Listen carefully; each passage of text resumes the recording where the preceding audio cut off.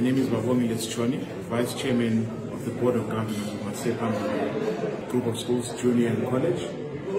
Right, we are here, you know, we are very much elated with what has happened. Uh, we received the award for Unati Viki, who was the best in food and nutrition in the whole world, uh, Cambridge uh, O-level result, uh, examinations that she did. The world is inhibited by 8 billion, almost 8 billion people it's outstanding that a student achieved the best results amongst every human being in the world, whether they wrote or didn't write in whatever circumstances were. But uh, Unati made us proud as Masiyephambili. And on behalf of the board of Masiyephambili, I would like to convey our deepest gratitude and congratulations to, to Unati on this outstanding achievement that she achieved.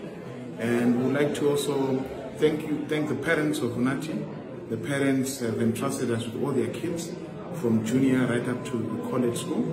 And Unati is the second child to be with us. And as you can see, the results that she's achieved, it means uh, the trust that she has in us, we've also reciprocated back. And as a school, the teachers have cultivated the young mind. The teachers, the headmistress, the, the whole administration, in what we've achieved, I'd like to congratulate them and we hope more and more of the students um, go on to achieve this. This is the second award. We received one six years ago. We would like to continue churning out these results more and more. And I would like to challenge the school, the, the children, to also emulate what Unati has done.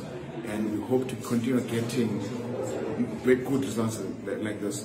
But not only did Unati get the best in food, food and nutrition, she's got seven A stars at all levels which includes maths, chemistry, and physics. So this is for us is a, a great achievement and we'd like to encourage Unati to do to go further in what she has achieved. And on behalf of the board, I'd like to say thank you to Unati once again.